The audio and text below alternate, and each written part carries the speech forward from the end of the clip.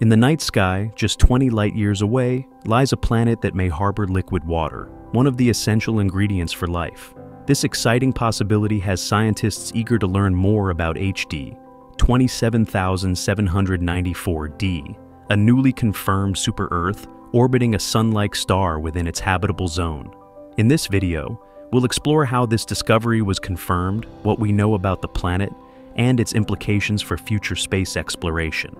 The story of HD 20794d began in 2022 when Dr. Michael Crenier from the University of Oxford detected an unusual signal while analyzing archived data from the HARPS, High Accuracy Radial Velocity Planet Searcher, spectrograph at La Silla Observatory in Chile.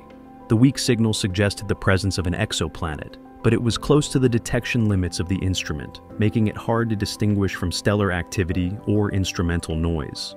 Instead of dismissing the signal, an international team of researchers set out to confirm its existence.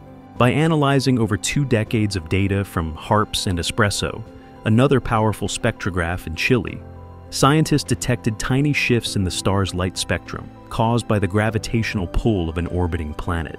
However, confirming its presence wasn't easy researchers had to filter out noise, eliminate distortions, and ensure the signal wasn't a false positive. After years of meticulous data analysis, they finally verified the planet's existence. So, what makes HD 20794d so intriguing? First, its location.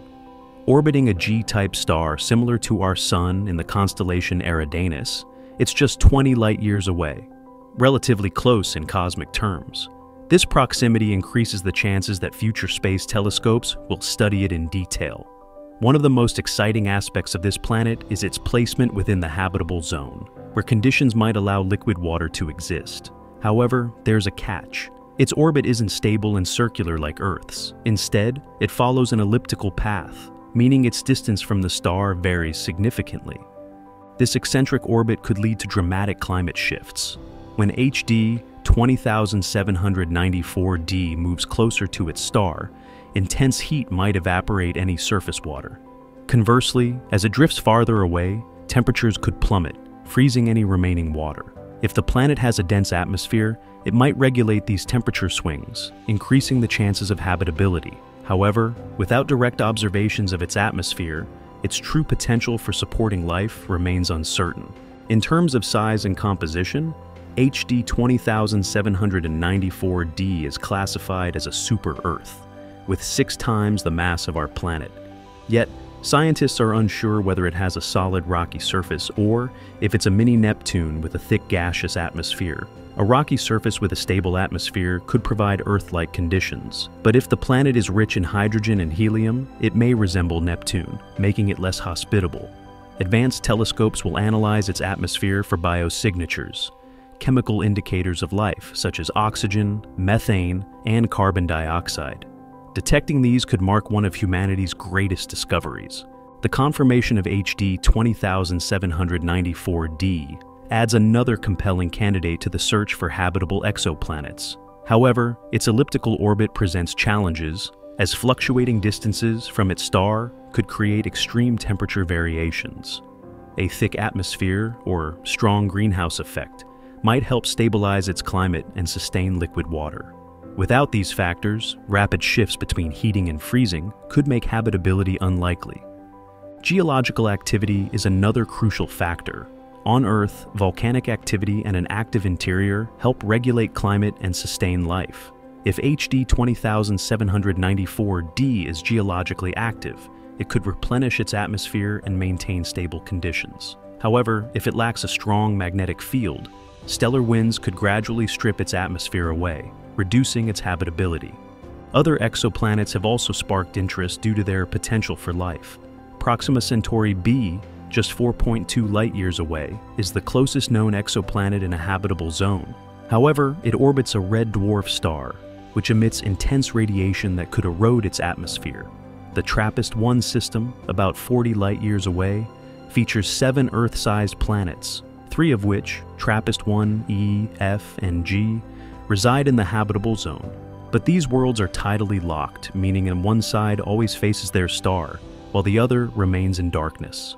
A well-balanced atmosphere could mitigate this, creating stable conditions for life. Another strong contender is Kepler 442b, located 1,200 light-years away. It's considered one of the most Earth-like exoplanets, receiving about 70% of the sunlight Earth does, suggesting temperatures that could support liquid water.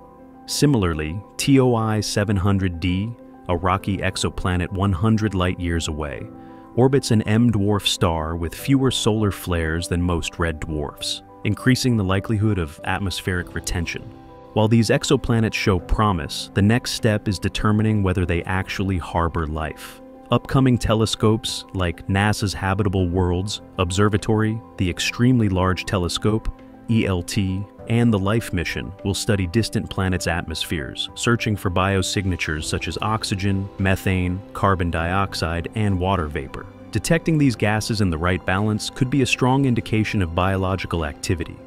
Interstellar probes could revolutionize exoplanet research. Projects like Breakthrough Starshot propose sending light-powered spacecraft to explore exoplanets such as Proxima Centauri b. If successful, Similar missions could target HD 20794D, allowing us to study distant worlds up close. Ultimately, the discovery of HD 20794D contributes to one of the biggest questions in science. Are we alone in the universe? With billions of stars and planets, it seems increasingly likely that habitable worlds are common. The challenge lies in detecting them and proving that life exists elsewhere. For centuries, humanity has gazed at the stars and wondered if we are alone in the universe. The search for extraterrestrial life has shifted from philosophical speculation to a rigorous scientific endeavor, driven by advancements in astronomy, astrobiology, and space exploration. With the discovery of thousands of exoplanets, some within habitable zones, and the development of sophisticated observational tools, we may be on the verge of answering this age-old question. But how close are we really to detecting alien life? And what challenges still stand in the way? The search for life beyond Earth has reached an unprecedented era of precision and capability.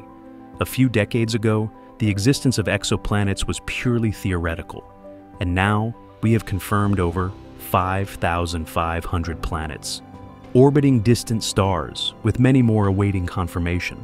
The ability to identify Earth-like worlds planets with the right conditions for liquid water, has rapidly accelerated thanks to missions like Kepler, TESS, Transiting Exoplanet Survey Satellite, and the James Webb Space Telescope, JWST. But the real breakthrough isn't just finding planets, it's detecting the right chemical signatures in their atmospheres that could indicate biological activity. JWST has already demonstrated its capability to analyze exoplanet atmospheres through spectroscopy, detecting carbon dioxide, methane, and even hints of water vapor on some distant worlds. However, these findings, while promising, are just the first steps. The true test will be identifying biosignatures, molecular evidence that suggests life is actively shaping a planet's environment. Oxygen, methane, ozone, and other compounds in the right proportions could indicate biological processes at work. Despite rapid advancements, there are still major hurdles preventing us from confirming extraterrestrial life. The primary challenge is that most exoplanets are incredibly far away. Even our closest exoplanetary neighbor, Iastes Proxima Centauri b Centaurus, is Waforos 4.2 light-years away, an almost insurmountable distance using current propulsion technology. This means that all of our observations rely on indirect methods, such as analyzing how light interacts with a planet's atmosphere when it passes in front of its star. While these techniques are powerful, they are limited in precision and can sometimes lead to ambiguous results. Another problem is Spursky-Zorsor, or false positives, or AIT. Many gases that we associate with life can also be produced through geological and chemical processes. For example, methane, a gas commonly linked to biological activity, can be generated by volcanic activity. Or reactions between water and rock. Similarly, oxygen, which is a key component of Earth's biosphere, can also accumulate in an atmosphere without life due to photodissociation, a process where ultraviolet light breaks apart water molecules, releasing oxygen.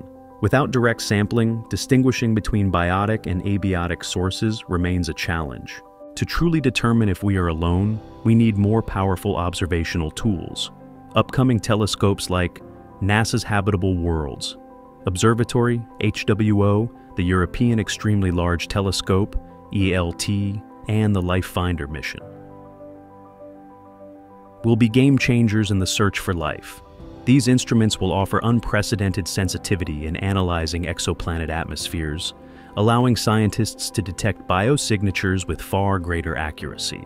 One of the most anticipated missions is LUVOIR, Large Ultraviolet Optical Infrared Surveyor, a proposed space telescope capable of directly imaging Earth-like exoplanets. Unlike JWST, which primarily uses indirect methods, LUVOIR would allow astronomers to directly observe exoplanets and study their atmospheres in incredible detail.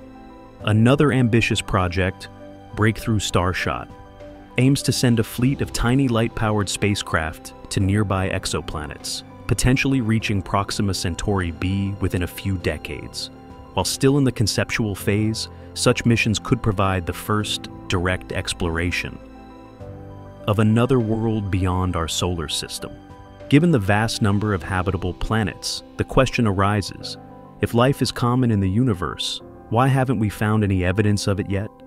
This paradox, known as the Fermi paradox, remains one of the most perplexing questions in science. There are several possible explanations, each with profound implications. One possibility is that life is rare not because habitable planets are uncommon, but because the emergence of life requires an extraordinary set of conditions that go beyond what we currently understand. Perhaps Earth is an anomaly where a perfect balance of chemistry, plate tectonics, a strong magnetic field, and stable climate allowed life to flourish. Another explanation is the Great Filter Hypothesis, which suggests that at some point in the evolution of life, there is a nearly insurmountable barrier that prevents civilizations from reaching an advanced stage. This filter could be at the deep beginning. Perhaps life itself is extremely difficult to start, or it could be at the end, space, meaning that intelligent civilizations tend to self-destruct before they can explore the galaxy. If the latter is true, it raises existential concerns about humanity's own future. A third possibility is that alien civilizations are, deliberately avoiding us, or are simply too advanced to be detected. If an extraterrestrial species were millions of years ahead of us, their technology could be indistinguishable from natural cosmic phenomena. Alternatively, they may observe a policy of non-interference, much like a cosmic prime directive, ensuring that less developed civilizations remain unaware of their presence. The discovery of extraterrestrial life, whether microbial or intelligent, would be the most profound scientific breakthrough in human history. The implications would extend far beyond astronomy, reshaping philosophy, religion, and even geopolitics. If we find simple microbial life on a nearby exoplanet or within our own solar system, such as in the subsurface oceans of Europa or Enceladus, it would suggest that life is relatively common and can arise under a variety of conditions. This would drastically increase the likelihood that intelligent life exists elsewhere. On the other hand, if we discover an advanced extraterrestrial civilization, the consequences would be even more dramatic. How would humanity react? Would nations unite in response? Or would there be conflicts over how to engage? The SETI, Search for Extraterrestrial Intelligence, Community has already debated the ethical and practical aspects of responding to an alien signal. Should we send a reply? If so, what should we say? The uncertainty surrounding these questions highlights the profound impact that a discovery of this magnitude would have on global society.